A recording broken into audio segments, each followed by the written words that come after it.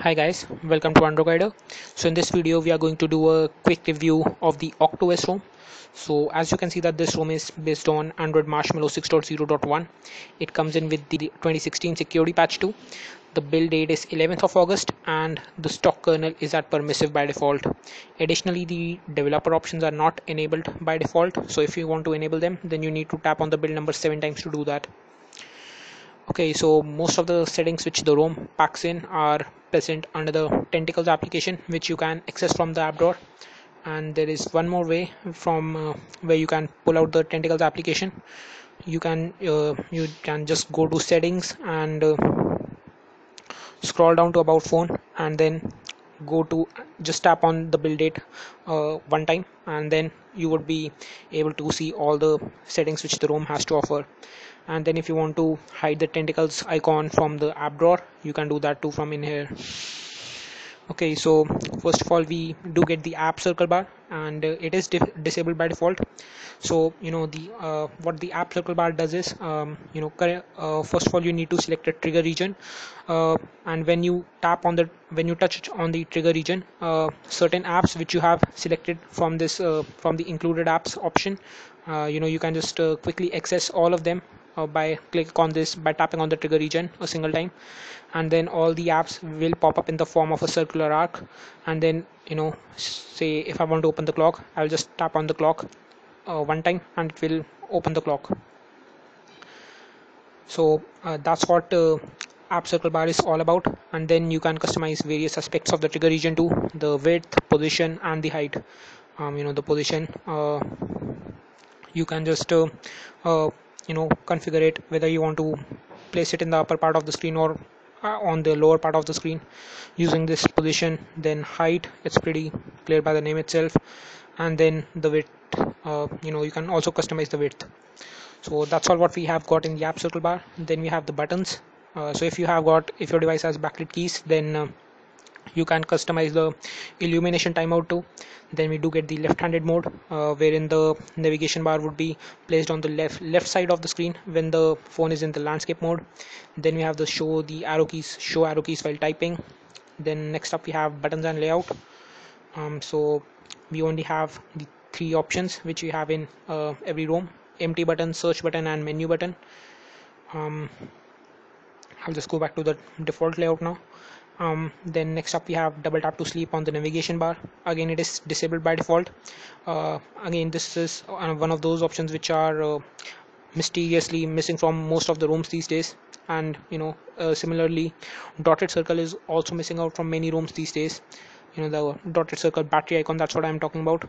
Then we have the power menu settings uh, so the power button settings. Uh, you can use the power button to cut the call press the power button twice to launch the camera. Then we have the uh, various hardware key settings uh, the home button settings. So you can use it to wake up the device answer the call. You can customize its long press action double tap action. Similarly we have the you can use the back key to wake up the device. Then we have the menu key to wake up the device short press action and the long press actions. Search button. Similarly we have the short press and the long press actions in here too. Then we have the volume button settings uh, you can use the volume buttons to wake up the device. We do get playback control. Control the ringtone volume instead instead of the notification one. And then we do get keyboard cursor control too. So you can just configure that as per you as per the way you want to. We also have volume steps. And the minimum is 5 and the maximum is 60 like always. Um, then you can also reorient the volume keys when the device is rotated then we have the uh, we have gesture anywhere. Uh, so again this is pretty much similar to app circle bar. You can customize its location left or right. And uh, but in uh, app circle bar you can't customize its location. It uh, will by default pop up from the right edge of the screen. You just can't change that. Um, and if you are enabling both the app circle bar and gesture anywhere just make sure that the uh, you know you are not placing the the gest gesture anywhere on the right edge. And if you are placing gesture anywhere on the right edge just make sure that the trigger region of app circle bar and gesture anywhere does not overlap. So I'll keep it on the left edge. Um, and then similarly just like app circle bar you can uh, uh, configure the trigger region its width position and height. Um, I will just decrease it a bit. And uh, so what's different in uh, gesture anywhere is that you know you can configure any gesture uh, for uh, any app activity or uh, application you want to launch. So say if i just want to launch the clock and you know my gesture for launching the clock would be by drawing the alphabet c. Okay so what will happen is that when i will touch uh, when i will tap on that trigger region a translucent screen will pop up where I will have to draw the gesture which I had just configured. So the moment I draw a C it will launch the clock application similarly you can uh, do that uh, with the other applications too. So that's what gesture anywhere is all about. Then we have the kernel Adiutor mod. Again uh, you can configure uh, you can configure the you can use kernel Adiutor to tweak the kernel settings and all that stuff. Then we have the lock screen settings. So from in here you can configure the lock screen type. Live lock screen is there too. You can configure the lock screen message the bottom lock screen shortcuts display music visualizer show the weather if you want to and then we have the lock screen wallpaper picker in the end. Then we have the miscellaneous tweaks. Uh, if you want to show or hide the toast icon you can do that. We do get the wake lock blocker too. Um, then we have the power menu settings. So a lot of options in here. And we also do get advanced reboot. So this is how the power menu looks like. And that's it um, then we have the privacy settings. So we do get privacy guard blocked caller list and protected apps. I have made a separate video on privacy guard and how you can use it as a tool to save up on your battery and uh, at the same time prevent miscellaneous uh, you know uh, prevent apps uh, prevent uh, harmful apps from accessing your private data. So i have made a separate video on that and i will definitely put down a link below in the description for you guys to check it out um, then next up we have the recent settings. We do get immersive recents so full screen. Um, and then if you want to show only the status bar in the recents menu then you can do that or only the navigation bar. You can just configure all that stuff as per the way you want to. Then you can show or hide the search bar in the recents menu. We do get the clear all uh, button in and we have the entire six location back into. And then in the end we have the omni recents then we have the status bar settings. So from in here you can uh, choose whether to show or hide any of the uh, status bar icons which you want to. So say at the moment the Wi-Fi icon is being shown in the status bar and so if I just want to hide it I'll just take it off and the Wi-Fi icon disappears. So it's as simple as that. Then uh, if you want to show a custom greeting when the status bar is uh, when you unlock your device then you can do that. Okay so let's just quickly test it out. So you can just see that greeting in the status bar. And you know uh, you can configure that greeting when you will by just quickly uh, turning off the switch and then uh, by re-enabling the greeting you would then be able to configure uh, the uh, the greeting which you want to see in your status bar. Again uh, you know the the only marshmallow based ROM in which I saw this feature was AOSiP and it is present in OctOs um, then we have the time contextual headers and we have the nature's image uh, the nature image pack and uh, they have modified it a bit. Um, you know it's not the uh, stock uh, nature image pack which we have in most of the ROMs these days. So it's a bit different. Then we have the clock and date settings. Uh, so from in here you can configure the alignment of the clock right center or left. Then if you want to show the AMPM style uh, you if you want to show the AMPM right next to the clock then you can do that um, date small font size or the normal font size. So you can just uh, see currently the you know the day or date is being shown to the left of the time in the top right corner of your screen. Uh, sorry uh, this is the small one and this is the normal one. So you can choose whichever you want to. Then we, we have is date styles. This is the normal one this is the lowercase one and this is the uppercase one. Then you can configure the uh, position of the date left of time or right of time and then we have various date formats to choose from too. So that's all what we have in here. Then uh, you can configure the battery icon style. Portrait icon landscape icon circle dotted circle is present in here. Uh, text or you can just hide it. Again I would personally prefer to have the dotted circle one. Um, then uh, you want if you want you can show the battery percentage inside the icon or next to the icon. And by default it is hidden. Then we have the battery bar settings. You can choose the location of the battery bar top of status bar. There you can see it. Uh, sorry sorry sorry. Then you have it at the top of the navigation bar. Um, I'll just change the color so that you guys can have a look at that. Um, maybe the thickness. Okay so it is present on the top of the navigation bar at the moment. And then there it is at the bottom of the navigation bar. Then you can configure the battery bar style. Regular one is aligned to the left edge of the screen and I'll just enable the charging animation. So you can sense that you know the charging animation will just um, quickly send out certain blocks of uh, charge into the battery bar. Uh, we have the regular one and the center mirrored one. You know it is symmetrical right about the center of the screen. Then if you want to show the charging animation you can do that. You can configure the battery bar color and the battery bar thickness too then uh, we have brightness control. Show the notification count traffic indicators. Uh, they are disabled by default. Then uh, you can show either the outgoing traffic incoming traffic or both the outgoing and the incoming one. Then you can configure its color to display unit update interval and then in the end if you want to auto hide the network arrows when there is uh, when there is no data exchange going on then you can do that. And uh, that speed uh, the speed threshold. Uh, so say you know if the data rate exchanges below 10 kbs per second then the network indicators which would uh, which which are being shown in the status bar they would be hidden automatically when you have checked in the auto hide option. And then we have the quick pull down in the end. So that's all what we have in the status bar settings then uh, we do get SuperSU2 and uh, this is this one comes in with the latest uh, SuperSU application. So you do get that entire new user interface which we have when you would be launching SuperSU for the first time. Then we have system profiles. Again uh, another stock feature of CyanogenMod.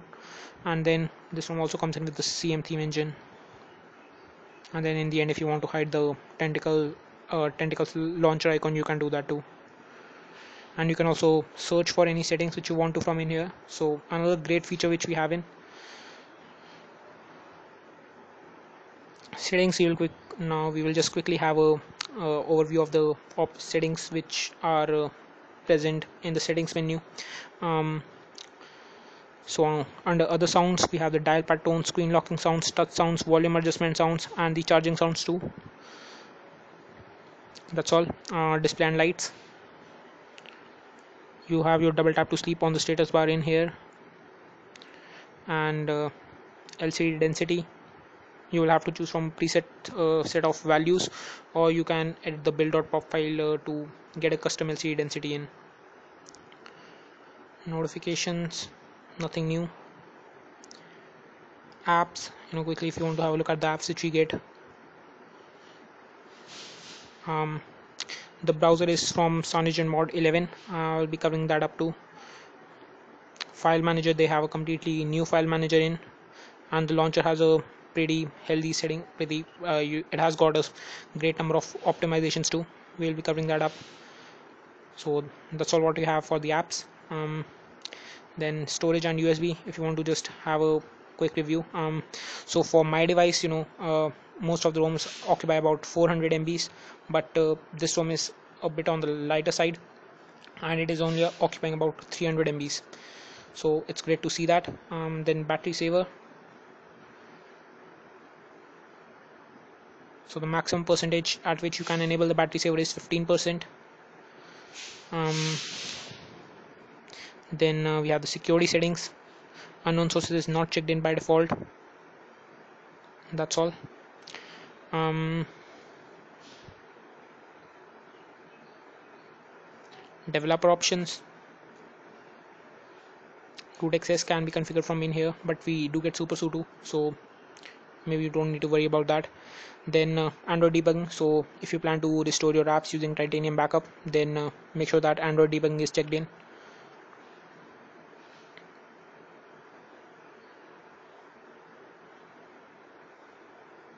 we do get the multi-window mode too. And then in the end we have the kill app back button. So that's all what we have got we have in the settings menu. Um, now we will just quickly move on to all the apps which we have. Uh, so first of all we'll see what the launcher has got to offer.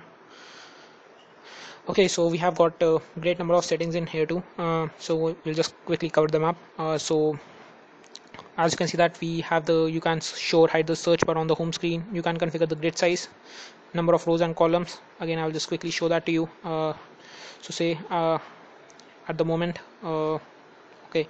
So at the moment the grid size is 4 by 4 number of rows is 4 and the uh, number of columns will be 4 too. And uh, we'll just quickly uh, sorry sorry. We'll just quickly change the grid size um, say to 5 by 5 okay so uh, maybe it won't be reflected in the rows but definitely it will be reflected in the terms of number of columns. I'm um, sorry. I don't know where they popped up from. Um, but anyways. Well I don't know what is uh, actually happening. Uh, anyways you know um, by configuring the dock size what we mean to say is that uh, you can now accommodate five icons in uh, in here. Uh, earlier that was four as you can see um, I mean I don't know what actually happened but uh, you know uh, you can't even remove all the all those four icons which are present in the bottom edge just uh, above the dock. Um, so you know uh, this feature really works and you know uh, that just might be a small bug which uh, you know I don't know how why it is happening though but anyways. Um, then you know you can see that the grid size works and then you can customize the icon size too um, then we have the dock settings. So from in here you can select the number of icons which can be shown in the dock. Presently we have 5 1 2 3 4 and 5 sorry. Um, okay. And if you just want to change it back to uh, 6 let's see. There you see you can accommodate one more icon. It's as simple as that. Um, then uh, you can also customize the icon size in the dock too app drawer settings. You can configure the drawer style. Paged one currently i'm using the page uh, the page layout. This is the page layout uh, you know similar to the one which we had in uh, lollipop. Um, then uh, we also do get the vertical style page layout you know similar to the one which we have in android marshmallow. Yeah this is the paged one oh sorry this is the vertical layout. Um, then uh, you can also configure the portrait grid size the landscape uh, grid size you know similar to the one which we did on the home screen. And then you can configure the icon size in the end. Then we have the folders. Uh, you can configure the background color icon text color preview color and hide the folder name if you want to. Gestures. A uh, lot of options. Swipe up left middle right. Then similarly we have the swipe down gestures too. Uh, pinch pinch in and pinch out you know both of them would be the same one spread and uh, then you have the double tap general settings allow rotation and you can select a custom icon pack. So a lot of options in the stock launcher. Uh, now we'll be moving quickly onto the apps the browser app. Uh, so you know if you are familiar with this uh, then this browser has been imported from CyanogenMod 11 again it's a, a great browser which we have general settings you can configure the home page autofill forms uh, privacy and security settings clear cache history security warnings cookies um, location passwords uh, then uh, we have uh, accessibility settings force enable zoom pretty handy on sites such as facebook where you can't you know just uh, zoom into the web pages. Um, text scaling you can adjust the font size on the web page of the web page you are browsing on zoom on to you know uh, double tap to zoom in into the web page minimum font size and then the inverted screen rendering comes up. Black becomes white and vice versa. If you want to do that and then you can configure its contrast if you want to. Um, advanced settings search engine you can configure that. Open new tabs behind the current tab. Javascript enable javascript. Allow multiple tabs per app. Enable plugins. Default zoom you know a lot of block pop-up. The you also do get the pop-up blocker out of it the web pages uh, text encoding bandwidth management uh, another great feature which we have. So display images on the web page. Want to save on data just disable this feature if you're using a slow connection. Um, you know this will lead to faster rendering of the web pages. Uh, search result preloading and the web page preloading. I will definitely recommend you to enable this option so you know if you are using google uh, and if you are on the first search first the first search page then uh, you know the moment you click on next uh, and if that if the next web page is uh, quickly preloaded then you know this is a, a great feature to have in. Labs quick controls slide the thumb from the left edge or right edge to open quick controls and hide the app and url bars again a great feature to have in. And then use the full screen mode to hide the status bar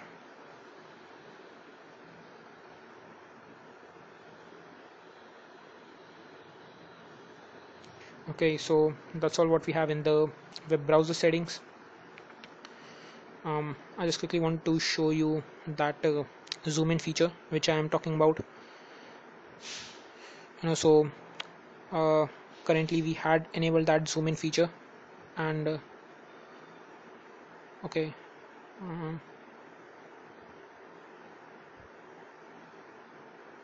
well so uh, there you see that um, you can also you know swipe out from the left edge to view all those settings and that feature is also working. And but currently I wanted to show you the and also you know quickly this is just like Pie control so if you have used that it comes in pretty handy. Um, but what I wanted to show you was the force enable zoom feature. Uh, okay let's go back. And uh, we will just quickly reload the web page. Sorry. Uh, okay. Let's reload it. Also currently you can see that I can't zoom into the web page and uh, I want to show you the settings. And then we go to accessibility and we enable force enable zoom. Then you will just quickly reload the web page there you go. And the force enable zoom feature should work. Uh, I don't know but it is not working as you can see. Well I don't have any clue why it is not working but again it is a feature which we have. Um, then next up we have the file manager. Uh, we get a completely different file manager. Uh, you know it is it is not themed. It is completely different from the CyanogenMod file manager which you get in CM13 uh, so it's a pretty nice looking. You can you do get a, you do have a root file browser too. Uh, settings for that uh, first of all you need to enable root access and uh, then a supersu prompt access will pop up and you know just granted the root access and then uh, you can also configure the theme light or dark uh, sorting preferences name type size and date. You know this the how the uh, how the file should be sorted out by default. And of course you would be change this uh, sorting order when you are browsing the files too. Uh, we'll, we will be covering that up too. And then view mode simple or detailed hidden files thumbnails you can configure all that. We'll go back. Mm, okay. So it was waiting for that uh, uh, you know to grant that root access anyways uh, let's go uh, so by click on that plus icon you can create a new file or new folder and uh, uh it also allows you the it also gives you the option to uh, you know quickly zip the files and uh, the permissions too I guess that was there in the root access when you are you know changing the root access of the files uh, I think it there was an option to change the permissions too um, if I'm not wrong. Anyways we'll just confirm that. Um, details you can uh, configure all that you know if you want to view all what you know how much storage the folder is occupying and all that stuff uh, when was it created and you know stuff like that then you can do that access that from details. And as I showed you you can uh, zip the files. So again it's a pretty healthy good feature to have in. And now if you uh, if you'll just quickly uh, go to uh, I'll just try and you know unzip a file. Let's see if it works. Okay so it does work. So another great feature to have in. Well I'm running pretty low on memory so you know I would cancel that process. I had to swipe that out. I'm sorry. Uh, anyways but uh, you know you can see that feature works I'm running really very short on uh, memory on my SD card. And you see you can see that you know that extraction process definitely works. I'll just delete that. Okay uh, anyways. Um, so uh, lastly I want to show you that permission settings if they are available. Um, info you know again if you want to view quick info about any anything you can just click on that info icon too. We also have a, a search option in. Um, so I'll just quickly see if I can you know change. Um,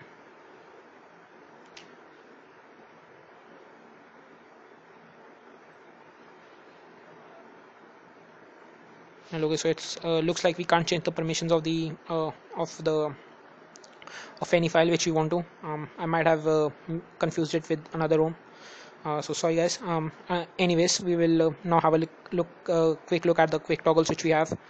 So these are the quick toggles which are enabled by default. And uh, these are the ones which you can add on.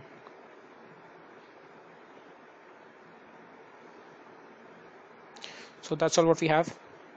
And if you want to show the weather in the extended header region then you have to check in this option and uh, it will ask for uh, uh, your permission to enable the access to the location to your location um, again. And then if you want to show the brightness slider enlarge first row tri-state location and return to the default layout. So these are all the options which we have.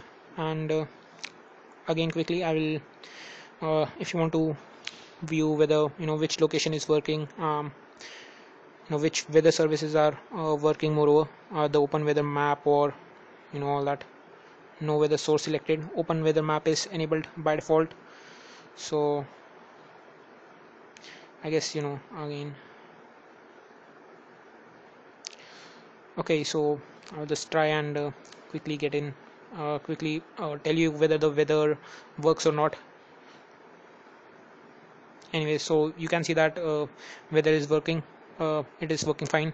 And if you want to have a quick look at my lock screen then there you can see that whether we had enabled that weather feature too if you remember. Um, so then we have the 11 music player too. Um, tentacles. So I guess that we had covered we have covered uh, we have covered it all. Um, and then now just a quick look at the wallpapers and the widgets which we have. So wallpapers a lot to choose from too currently we are running this one. Then uh, a couple of live wallpapers too. So a lot to choose from. Um, widgets. That's all what we have. Uh, we also have that slim launcher icon. And power control too so using this you can quickly toggle on and off Wi-Fi Bluetooth airplane mode sync and adaptive brightness. Again uh, you know it looks like that they have uh, made certain changes to the power control widget because you know it is not like the uh, power control widget which uh, we are used to which I am you know which I have seen in other ROMs such as uh, Resurrection Remix or AICP and you know uh, ROMs which are based on CM13 but I certainly don't remember seeing a power control widget like this. You know they have certainly made uh, they have definitely made certain changes to the layout of this widget. Um, I can confirm to you that for sure. Um, but I don't know what the exact changes are though.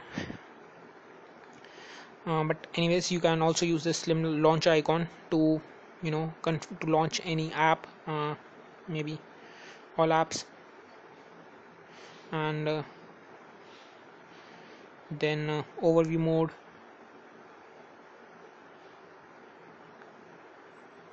Means we will have a look at the all the actions which we can.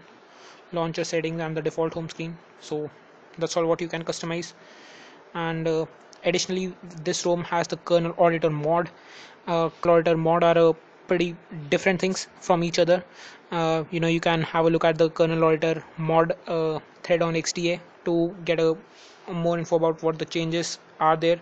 Again I will uh, uh, put up uh, put down a link below in the description for you to check it out. So if you want to check out what the kernel Adiutor mod is all about then do refer to that. And uh, last thing which I wanted to mention is that uh, you know you can use you can also use just uh, gesture anywhere to another great advantage. Um, you know you can well if I just want to add any gesture so you can configure activities to bookmarks contacts email folder OmniSwitch and slim launcher shortcuts to setting shortcuts to. And again if you use tasker then you can uh, launch a task by just drawing a gesture. So another that's another great feature of task uh, of tasker and gesture anywhere uh, the two of them combined they can produce great results.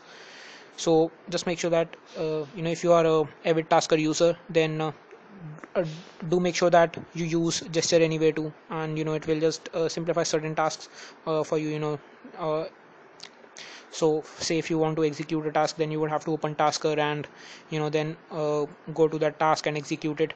But uh, using gesture anywhere you can just pull out that uh, pull out the gesture anywhere screen up and draw a gesture and quickly launch the task. So that's one of the many uses of uh, tasker and gesture anywhere combined. So uh, that's all what I think that I have got for you guys in this video. So if you guys like this video then do give it a thumbs up. And uh, if you want to get in a notification in whenever i upload my next video then do hit that subscribe button too. So thanks for watching guys and i will catch you guys in the next one